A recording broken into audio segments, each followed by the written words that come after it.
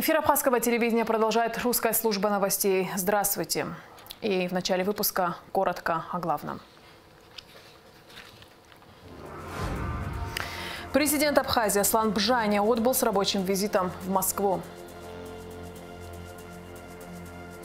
Сухумская инфекционная больница переполнена. В настоящее время в больнице проходит лечение 43 пациента с коронавирусной инфекцией. Соблюдаются ли в столице правила парковки? Наша съемочная группа пообщалась с участниками дорожного движения. Президент Абхазии Слан Бжани 8 октября отбыл с рабочим визитом в Москву. Как сообщает пресс-служба главы государства, Слан Бжани проведет ряд встреч в администрации президента России и в правительстве Российской Федерации. По итогам деятельности Министерства по налогам и сборам за 9 месяцев текущего года в бюджет Абхазии поступило налоговых платежей на сумму 2 миллиона 336 тысяч рублей при плане 1 миллион 969 тысяч. Выполнение составило 119%. Суммарная разница плана по сравнению с фактическими поступлениями налоговых платежей составила более 367 миллионов рублей. Каждый день количество заболевших COVID-19 становится больше. Медики работают на износ, круглосуточно спасая пациентов. Наша съемочная группа в очередной раз побывала в Сухумской инфекционной больнице, где врачи ежеминутно борются за чью-то жизнь. Репортаж Алики Трапш. С начала пандемии общее число выявленных заболевших коронавирусом в Абхазии составляет 28 503 человека. Из них выздоровели 23 370 человек. Летальных случаев зарегистрировано 421. За последние сутки, по данным оперштаба, коронавирус выявлен у 162 человек. Это свидетельствует о том, что болезнь в республике на спад пока не идет. Врачи в ковид-больницах и днем, и ночью работают на износ, борясь за жизни пациентов. Сухумская инфекционная больница полностью переполнена. По словам исполняющего обязанности главврача Астамура Гуня, практически каждый день с 6 утра начинаются звонки о срочной госпитализации больных, но мест нет. В настоящее время в больнице проходит лечение 43 пациента. По всей видимости, это вот после праздничных дней, наверное, э, количество людей, больных резко увеличилось. Реанимация полная, там у нас 7 коек реанимационных, 7 аппаратов, они все действуют. Вот. Естественно, они все тяжелые, а, есть крайне тяжелые. И в отделении как минимум около 8 человек тяжелых. Ну, в тяжелом состоянии, в реанимационном э, отделении, конечно же, более пожилого возраста, после 60 лет, вот в данный момент. А, было время, когда у нас там э, лежал и 22-летний молодой человек.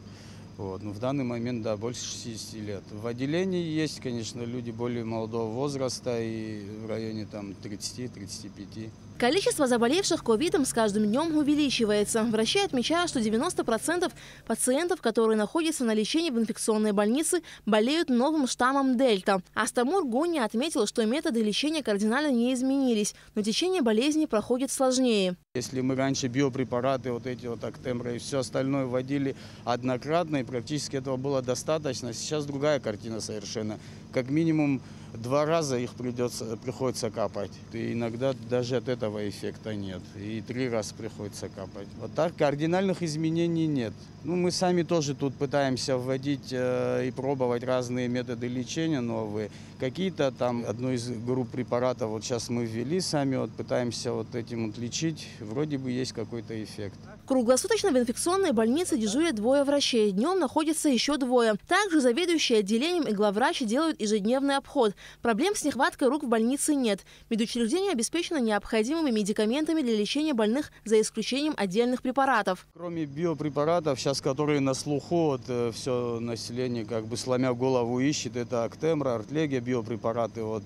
Э, частично, насколько это возможно, нас снабжает государство, Минздрав не в полном объеме, конечно. А все остальные препараты, там очень много еще других и дорогостоящих, всем остальным мы обеспечены полностью. Соблюдение мер предосторожности и обязательная вакцинация. Именно эти факторы позволят улучшить эпидемиологическую ситуацию, убеждены медики. Между тем, процесс вакцинации проходит достаточно вяло. По данным Минздрава Абхазии, на сегодняшний день спутником Лайт провакцинировались 2998 человек. Когда люди заболевают, они нам доверяют теряют свою жизнь, своих родственников и приходят к нам, когда заболевают. А когда мы говорим, что надо прививаться, почему-то этому они не верят. Вот так вот такое парадоксальное какое-то отношение к этому. В разы уменьшается вероятность заболевания, в разы, это раз. И переносимость смертельных исходов практически у привитых ну, не наблюдается, совершенно маленький процент. В данный момент у нас лежат три человека после прививок двухкомпонентных, э, двое после двухкомпонентных и одна больная после однокомпонентного. Ну, как бы... Так, э, да, да, конечно, легче проходит, естественно. Медики призывают не нарушать санитарно-эпидемиологические предписания, чтобы обезопасить себя и окружающих от инфекции. Ношение масок, мытье рук, отказ от посещения массовых мероприятий по-прежнему являются основными методами безопасности. Алика Трапшира, Мукамки, Абхазское телевидение. Президент Абхазии Аслан Бжаня поздравил заместителя секретаря Совета безопасности России Рашида Нургалиева с юбилеем.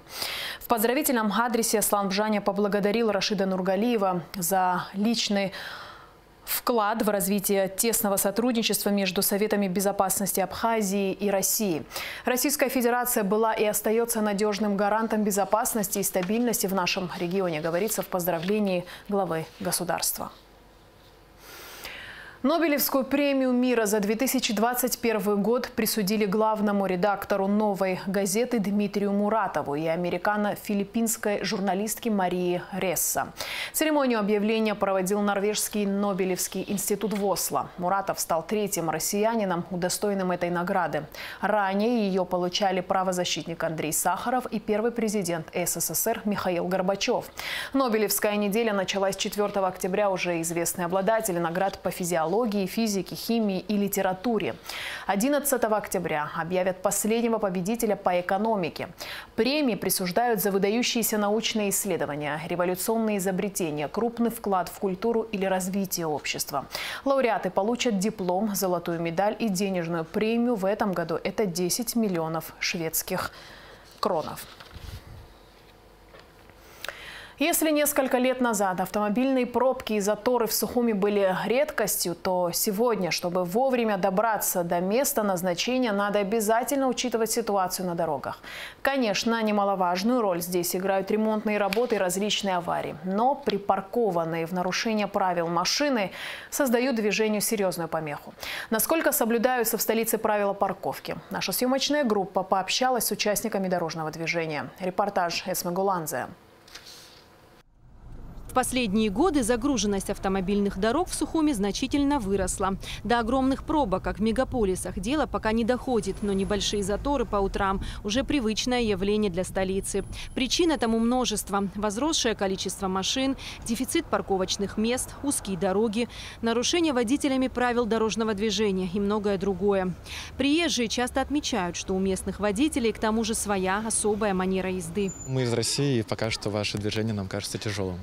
Да, и плюс очень такой важный момент, то, что многих светофоров у вас не видно. Они в ветках, и бывает то, что неожиданно появляется зеленый светофор или красный. Вот.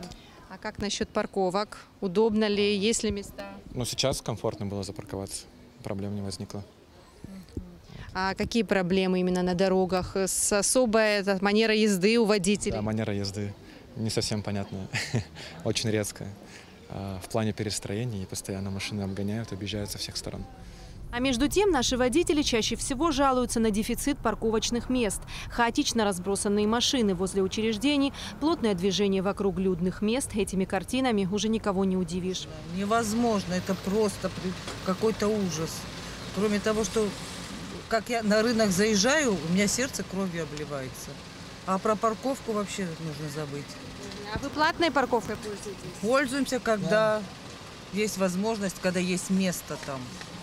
Ну, а так приходится искать место? Да, по два раза круги. Проблема с парковкой есть, потому что сейчас очень много машин по городу. И учебный год как бы, вот, тяжело с этим, конечно. Вы пользуетесь платными, бесплатными парковками? А как получится? Как получится. Ну, какое самое загруженное место, на ваш взгляд? Вот куда невозможно пробиться там утром? Ну вот э, Полокоба, вот утром, когда едешь, да, рабочий день с 9 утра начинается, с полдевятого, вот тогда очень перегружена. Сторона рынка, естественно, очень перегружена. Даже при наличии парковочных мест водители порой оставляют автомобили где попало и как попало. Умудряются парковаться на тротуарах и пешеходных переходах, загораживая проезд и обзор на перекрестках, при этом зная, что нарушают правила дорожного движения. Много тех, кто нарушает? Да, очень много. Да. А вы нарушаете? Ну, бывает. Иногда. А это, например, что? Там поворотник не включаете или какие да, именно? Да, да, да. Не включаю поворотник иногда. Забываю. А так все нормально. В принципе. А на скорости высоко ездите? Бывает, да. А как думаете, вообще нужно это в нашем городе? Ну, В на... нашем городе нет. Не нужно это. Бывает, что же с нарушителями сталкиваетесь на дорогах? Бывает. В основном... Очень много э, их. Очень много. И в основном э, ну, люди не знают, которые при, приезж- приезжие, и все. В основном все нормально. А вы сами не нарушаете? Вообще бывает. Ну что, например, можете нарушить? Много иногда бывает. Бывает иногда. Иногда приходится нарушать. Конечно, среди горожан есть и законопослушные, строго соблюдающие правила дорожного движения. С той стороны знак запрещает остановку. В любом случае, не высадка пассажиров, не остановка. Вообще остановка транспортного средства на той стороне запрещена. Здесь до трех минут разрешена именно а, э, остановка, но не стоянка. Больше трех минут уже считается стоянка. Дальше происходит, вот знак дальше стоит, именно тот, как вы говорите, остановка. Даже останавливаться запрещено. Я поехал, извините, больше трех минут. работаете случайно? Почти.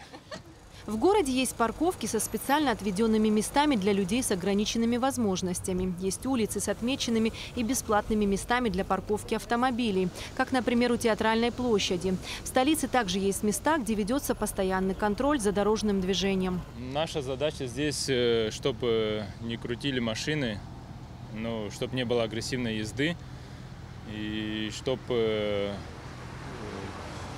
соблюдали этот, правила парковки. На этой стороне парковаться запрещено. На этой стороне парковаться запрещено, да. А в случае нарушений как вы поступаете? В случае нар- нарушения мы вызываем сотрудников ГАИ, и они убирают эти машины. Ну, в основном граждане у нас законопослушные или нарушают? Да нет, в основном мы просим, и они переставляют машины. Рынок – одна из самых загруженных точек столицы. Здесь парковка платная. Прямо на дороге стоят парковщики. По их словам, первые 15 минут стоянка бесплатная. Дольше по времени 30 рублей, даже если машина стоит больше часа.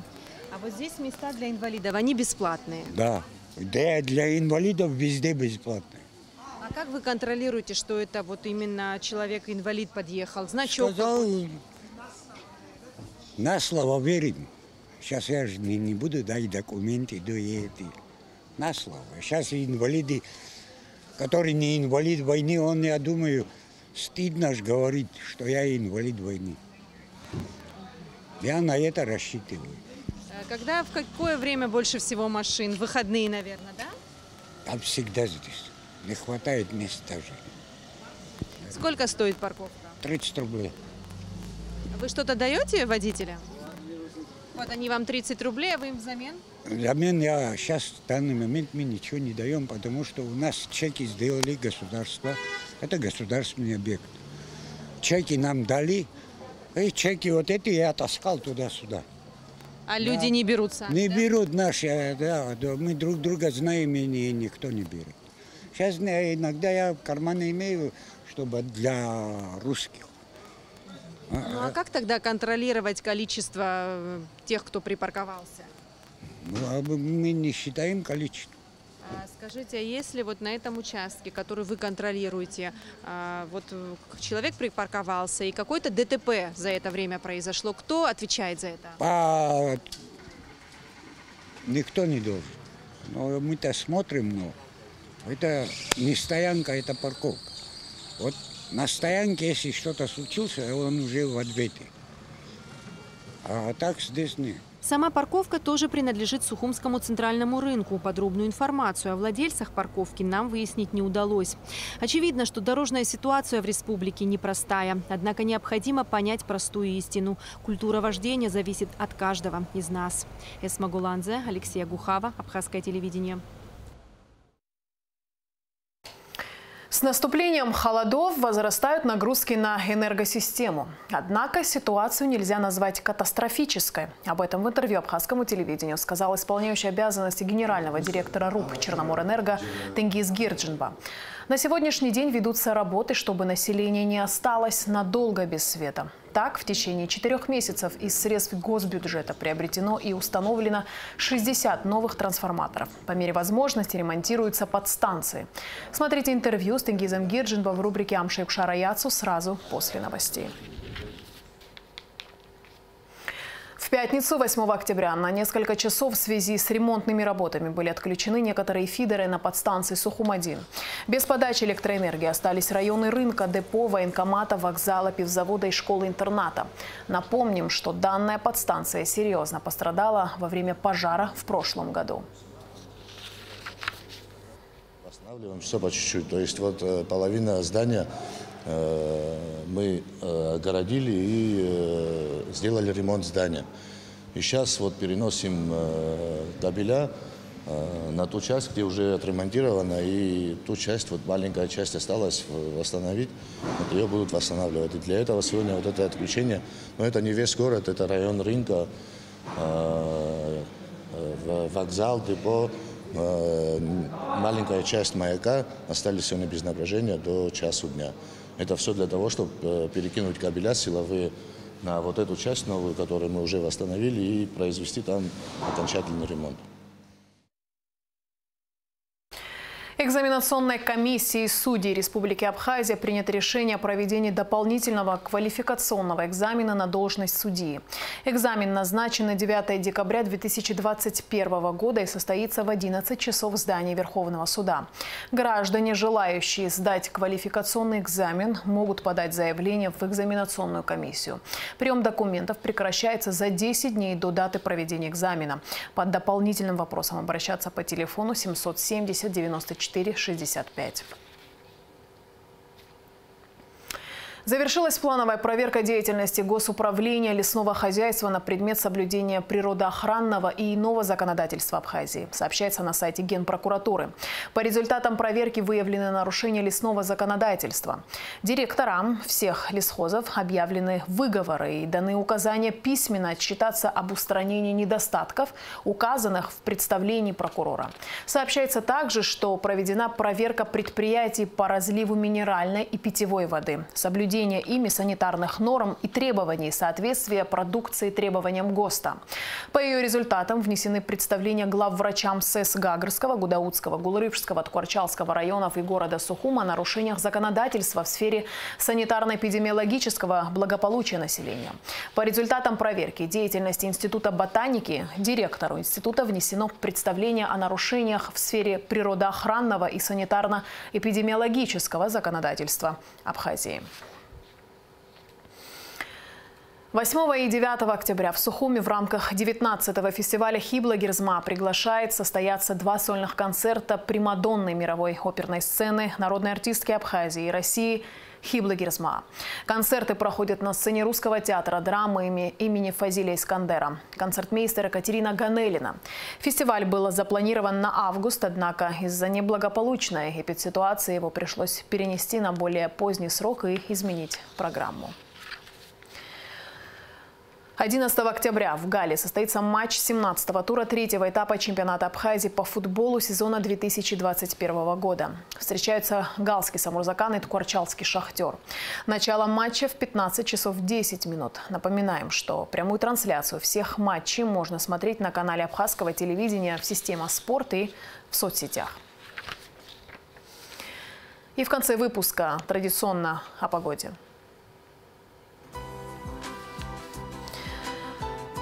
сообщение гидрометцентра: в выходные дни 9 и 10 октября в Абхазии ожидается переменная облачность без осадков. Температура воздуха ночью плюс 9-14, днем 19-24 тепла.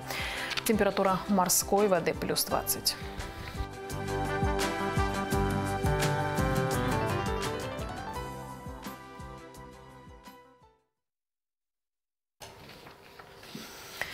На этом наш выпуск завершен. Всего доброго и до встречи в эфире.